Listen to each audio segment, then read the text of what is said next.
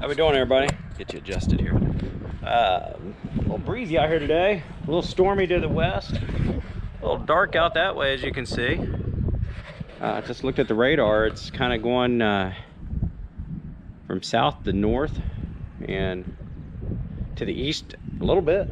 I think it's gonna miss us. I really did. Um, so far this morning, I had to charge you all up and I've cleaned out our old Malibu. As you can see it over there.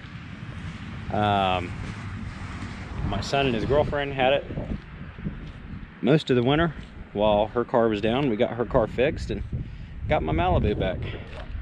And uh, got it cleaned up, even threw some wax on it real quick. So um, kind of breezy out here if you can't hear me, I'm sorry. Um, this wagon right here has a bent center pole and is tracking off a little bit. I think I'm gonna get the four-wheeler, move it inside. We have another center pole that we can use. Um, we're not sure how this happened. We're thinking maybe um, backed into something, but not sure if you can see that. It's got a pretty good bend to it right there. Um, that pole's got to come out. Uh, it's tracking crooked down the road. And kind of see a little mark here in that front bolt uh, where the paint's wore off of it a little bit. It is uh, tracking off down, going down the road. So a bent center pole will do that. So that is going to go into the barn here in a little bit and I'm going to get that out. Basically just unbolting the two bolts there and uh, throwing another center pole in it that we have. I hope it's the same size. Uh, Chad just took one out of a 20 footer to make a 26 footer so that pole may work. I think I may do that in a little bit like I said again apologize for the wind you hear thunder in the background yeah it's getting with it off to the west here yeah concrete's still damp in here yeah going um, but yeah, dad is in the hospital for a three-day thing. Uh, they changed his heart medication, and they want to see how that's going. His heart has been out of rhythm. Uh, they call that AFib. This is the second or third time that's happened now, so now they're trying a medication. If it doesn't work, then uh, tomorrow morning sometime they're going to shock his heart to put it back in rhythm, and let's just hope it stays. So, um, because your heart not being in rhythm, man, really wears you out, wears you down, and uh, he, you know, he's one to get out and do things. So uh, I think I was over there from about uh, eight to nine thirty, something like that, and uh, spent some time with him. He's trying to watch some videos. He's not uh, real technical savvy. Neither am I, but I do know how to watch YouTube and get on the internet. But uh, I'll teach him that stuff, and uh, he's got a laptop in there of my mother's, and he's watching videos and stuff. Looks like I'm the one feeding this morning. Cats, anyone? Huh. How you doing, Harry? Uh, my cousin Andy is at home uh, with her grandson. He's not feeling well, and I told her I'd feed everybody, so she was gonna wait till he got up and get over and feed. Now, I get it, so get to doing that. You guys hungry? Yeah? Donkey stayed in last night because Mother Nature decided she was just going to pee all over us again yesterday and yesterday evening. So that's that. Plan is here in a while to get everybody fed. Need to go to the gas station, get my morning caffeine. And then uh, I'm to try to get over to the hospital to see Dad. He's supposed to be coming back home tomorrow morning. All right, you guys are getting impatient. Ladies, all right, I'm to get the feeding done. See you in a bit. Cooper, you're next. Looks like you tried to uh, get into this box here. Oh, look at you. I'll get you some uh, hay out just a little bit. There you go. Get the donkeys out here. How you girls doing? Sorry, the camera's moving around so much. Get this thing undone here. Jeez, oh, Pete. Let's go, ladies. Fancy. That means you too. Um, that way. Come on. All right, well. Pretty sure Fancy here is a lot older than Hopi over there. She is a little stubborn. Let's go. No one's in your way. Let's go. All right. My gosh. Maybe she can't see very well. I don't know. All right, that's latched. I'll get that back in a minute. That's gonna have to be cleaned out. Gonna have to dump the wheelbarrow.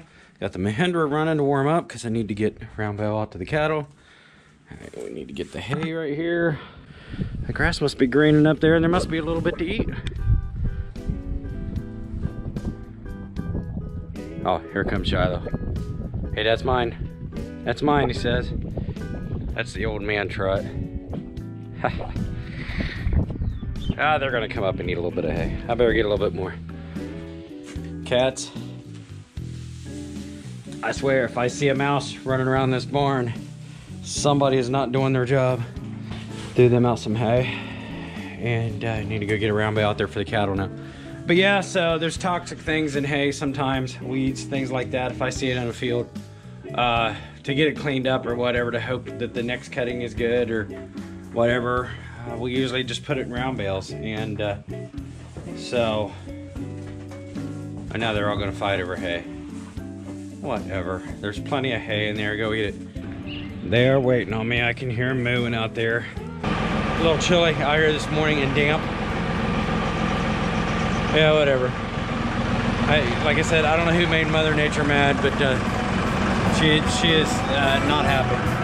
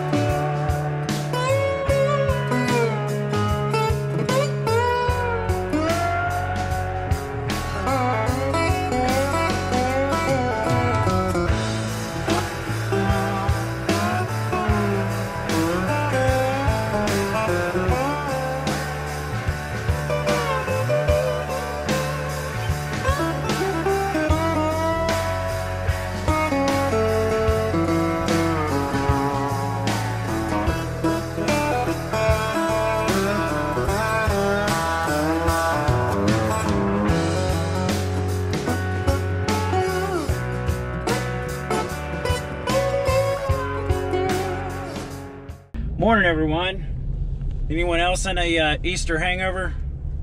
Uh, this morning, been busy so far. Been on the phone, been on emails, been uh, been on the phone some more, and uh, making deals and setting up things for this week. We're looking at uh, 70 degree temperatures this week, so we're gonna get some things done. That's for sure.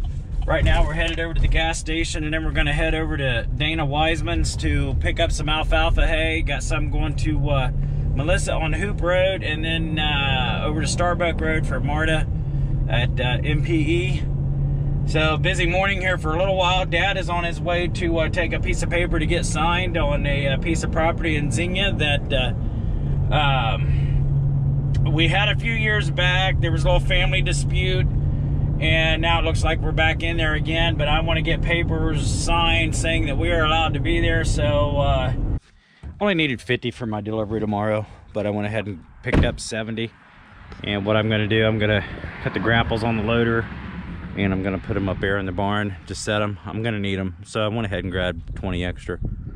So yeah i'm going to go get my grapples on the loader and uh we'll get these off and then I got something to do after that. So, beautiful day, and we are due. We are due for beautiful weather. Huh, due, get it? Um, Ethan, I stole your shirt.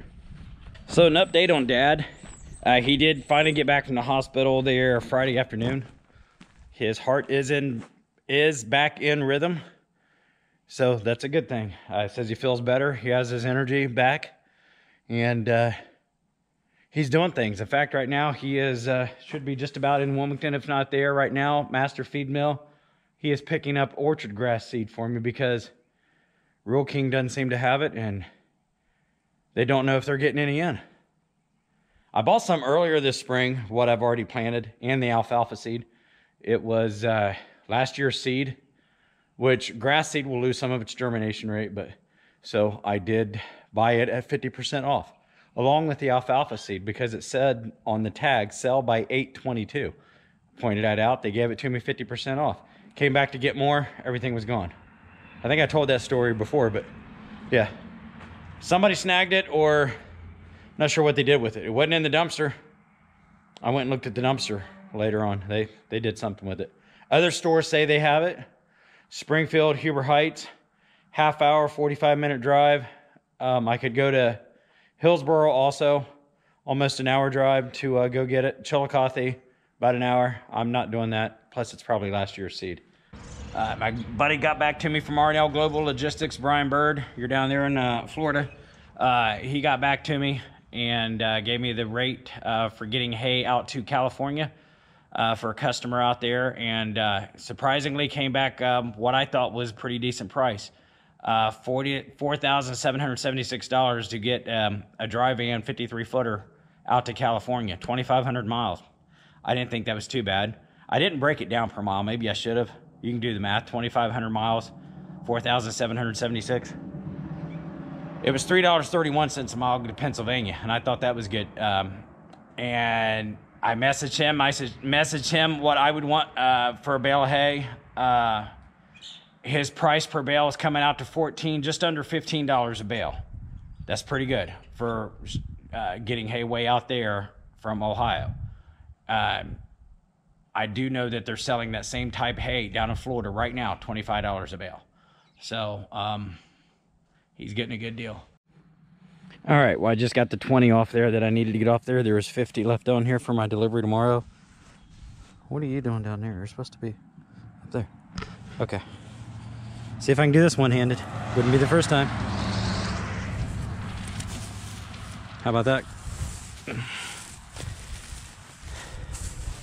All right, these little things, I have not seen a baler yet that does not do that with the twine every time it makes a knot. Yeah, I don't know. I guess if you counted those up over a year's time, that'd be some twine, wouldn't it? That would be some twine. Of course, look what all I waste on the round bales. All right. I won't tie that down for tomorrow. I'm gonna back it into the barn. They said there's a chance of a light frost tomorrow. Anyone ever have just strange random things happen to them that are very unexplainable? I mean, it happens around here all the time. So, uh, looking in my box because I'm gonna take the other truck and go up to the bank, leave this one hooked to this trailer for tomorrow morning. So I thought, well, okay, um, I need to grab my wallet out of my box. Like I said, this is my man purse box, whatever. Um, everything I need is in there. Uh, reaching in there to get my wallet and couldn't find my wallet. Come to find out it was on the console of my truck. Found it. But there is a glove in there. For no reason at all. Just a glove. Doesn't even look like I've worn that lately for anything. It looks like it's been through the washing machine. I do wash these sometimes, but they shrink up pretty bad but uh, was not in there earlier. And there's just one. Makes no sense.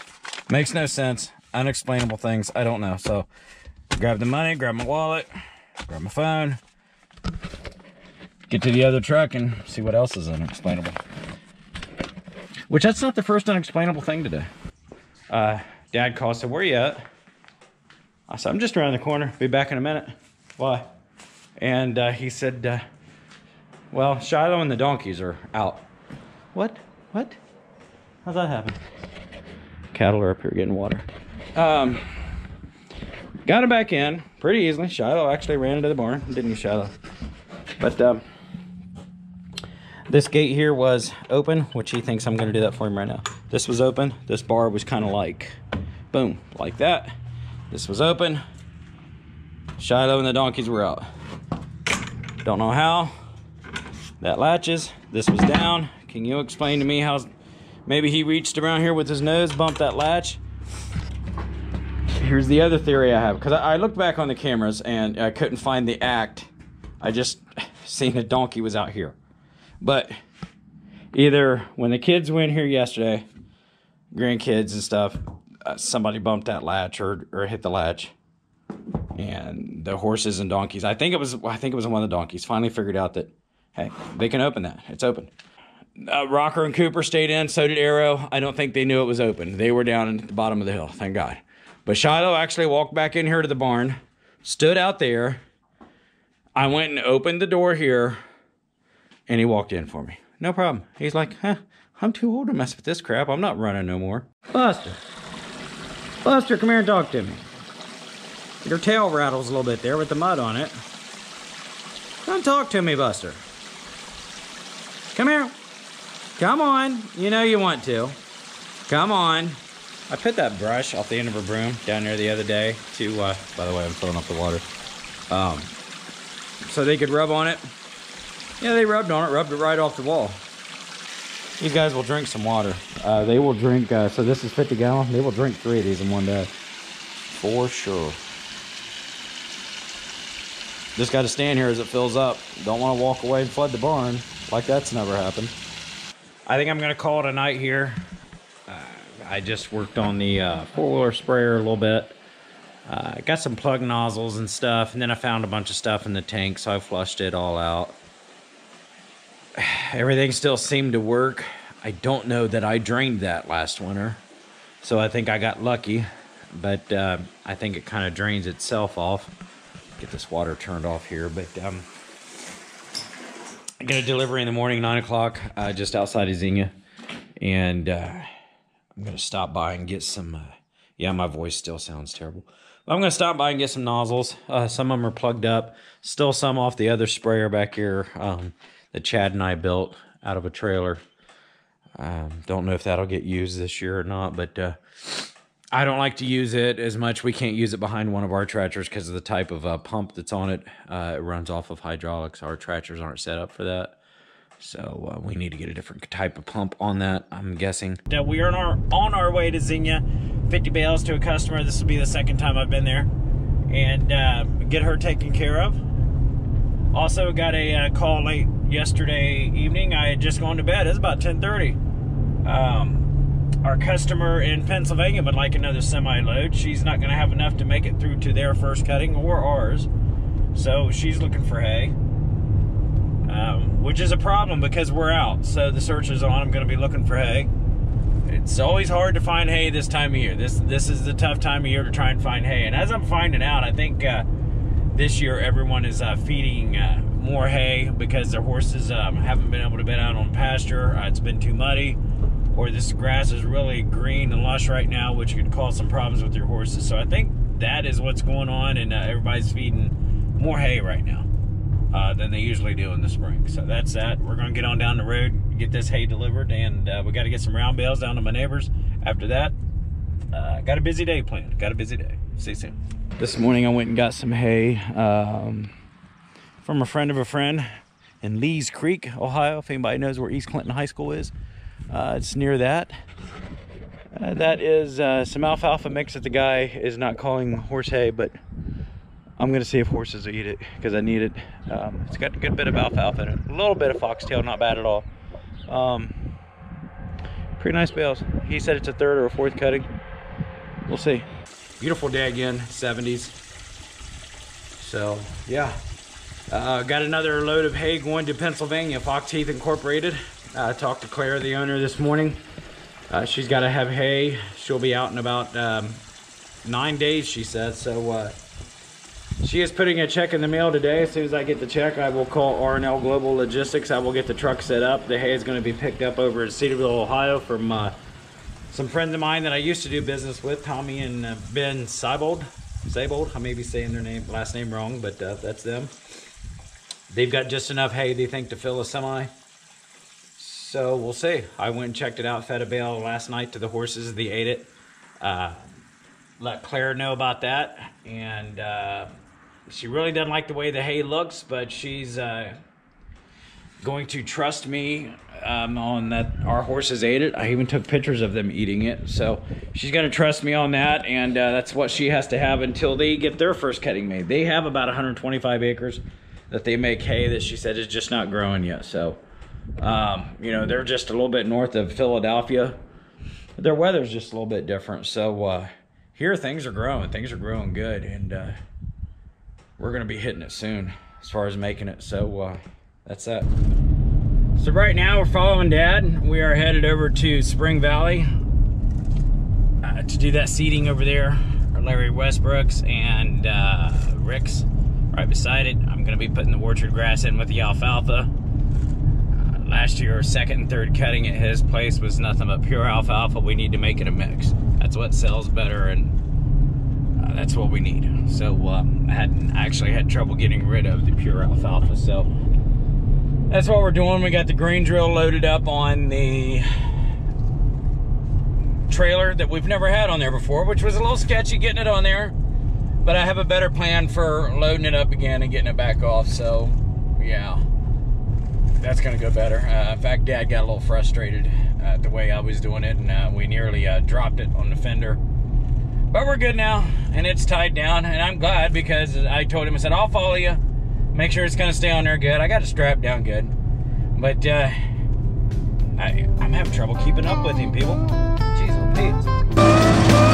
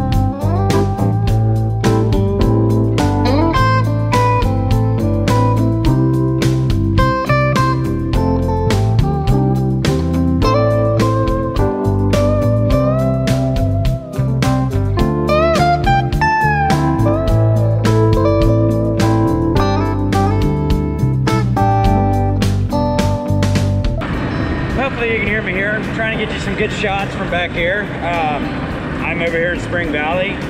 We are uh, seeding grass seed into this alfalfa. Reason being is uh, second third cutting last year was uh, just almost pure alfalfa and uh, actually had a hard time selling it as horse hay. It was just too strong. So uh, mix some grass in with it here. We're probably gonna not see this grass. Uh, maybe second, third cutting. We won't see it on the first. Uh, it's just gonna barely be getting out of the ground. But uh, this alfalfa, as you can see, uh, is the best alfalfa I've seen anywhere yet. And we got a late fall cutting off of this, so I'm really surprised that it's looking like that. Uh, I just talked with Rick, the owner. We're not gonna do any kind of fertilizing. I don't think we need to. Um, I think this soil is gonna be fertile enough as it is. I gotta turn here, sorry. but uh, that's how it is. And uh, I think this is gonna make some really nice hay. It's gonna make uh, some hay that's more sellable and um, it's gonna have orchard grass in with it. So it's gonna be better for it. And um, I'm trying to take it easy here so I don't cut up this alfalfa. Um, you can't really tell, it's not hurting it that bad, but this ground is hard as a rock. And you wouldn't think that for as much rain as we've had, but uh, it's pretty daggone hard. And uh, when it does, uh, so those blades back here, when they do cut the ground, if you're going too fast, it'll plow and it'll turn up some dirt. You might see some over there in my first pass. Uh, I'm actually going a little bit slower now than what I was in that first pass. Uh, you seen me just a second ago. I topped it off with seed. We were full. We were good to go the rest of the evening, and I'm gonna be here a while.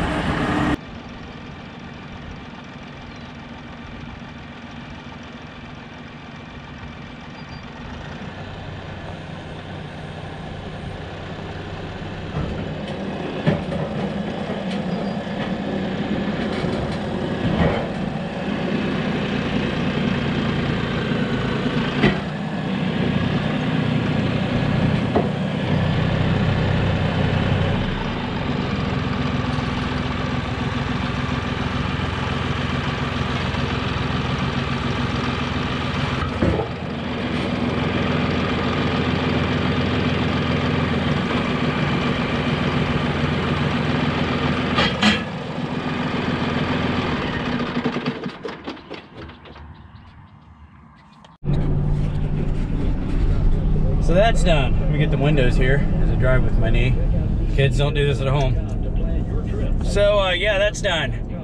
And yeah, here I am talking to my pickup again. But uh, that's done and um, that all seeded in orchard grass like I wanted to. Got Larry's place patched up in the thin spots. And then went over to Rick's and uh, did that. Did about 16 acres over there because he's taking another two acres to do something with. But um, it's his place, he can do that. So uh, we got all the grass seed in there, and that's going to make some nice hay by this fall for sure. I'm, I'm really, really looking at. I don't know if it comes on second cutting. It all depends on. I mean, there's a lot of moisture in the ground right now, even though the top of the ground was hard as could be. Uh, some places I was barely scratching it. So if we do get a nice little rain this weekend, that'll be good for that seed. Uh, what didn't get in the ground too much, um, just because the top of the ground was hard as a rock. So, but that that's going to fill in nice those uh, places that don't have anything growing. I'm, there's still dirt showing, so uh, that's just going to be it's going to be a beautiful hayfield, at at least by this fall anyway. So that's what we need. We need the grass in with the alfalfa. That's what's selling right now. Uh, I'll turn the Reds off here. They're beating the Braves right now, by the way. But um, so I couldn't bring the grain drill back with me. I, am not afraid to tie it to the back of this goose, gooseneck. There's a hitch back here. But the problem is, is that I didn't have the right hookup. I have a two inch uh, hitch to slide in the receiver on the back of the trailer, but it would have put it too low. And I didn't feel like taking the time to take the nut off to flip it around because losing daylight and it's probably going to be, the sun's going to be all the way set by the time we get home. And I don't have any lights for the back of that trailer. And I don't, well, I could hang an SMV sign on it. Depends on what kind of sheriff or state patrol might see and say, hey, you can't do that. But I could put the blinking light back here, SMV sign, and then just go slow. Whichever, but I was wanting to save a trip over here. But I didn't have the right hookup, so that's not going to happen. It'll be there. We'll get it in the morning that's that. I'm gonna get home, call it an evening, and uh, see what's waiting for me back home.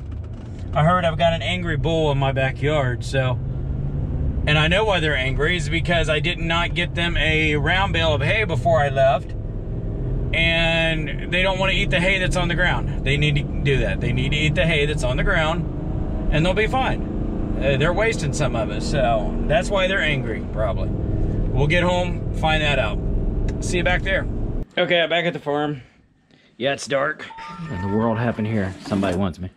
Um, get this stuff picked up. It's a mess. Anywho, went up to the house. Yeah, Rocker, right here. Went up to the house, talked some business with mom and dad. I need to get a wheelbarrow around here for Andy to use in the morning. Uh, I've got that done. So I will be going home here in a minute and it's about the end of our day. And we got some uh, long evenings coming up here. I do know that. So uh, might as well just get used to this. It's only, I don't know, almost 9 o'clock. Yeah, almost 9 o'clock. Hey, before we know it, uh, yeah, it's going to be midnight, 1 a.m. probably. I don't know. I've let Mike know that too. That's going to be coming to help me. So uh, all is good. Dad topped off the cattle water. I'm good. Rocker over here seems like he wants to have a conversation or talk to me about something. Cooper has his tongue hanging out the side. Look at that. Look at that. Oh, oh, you pulled it back in. What do you say, Rocker? What's going on, buddy? Huh? Huh? You have? Did you have a good day? Yeah. The light's kind of behind you, buddy. I can't quite see you.